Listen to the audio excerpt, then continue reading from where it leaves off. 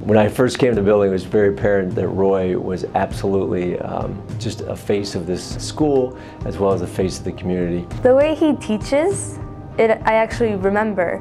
It's not just about teaching the instrument, about teaching skills. It's about teaching young people how to grow up in a really good way.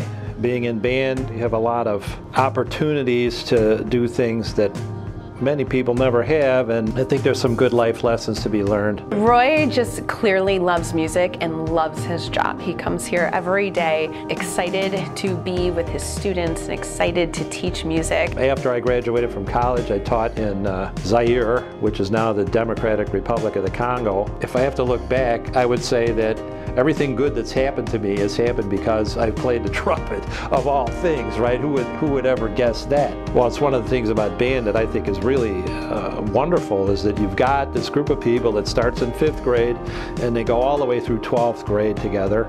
And uh, these long-term relationships really mean a lot, especially in, in uh, times that we live in now where, well, just turn on the TV. He treats us like equals, which is kind of refreshing during the day. He believes that, that that environment during the junior high specifically is really important because a lot of students come in in junior high not feeling as though they have a place.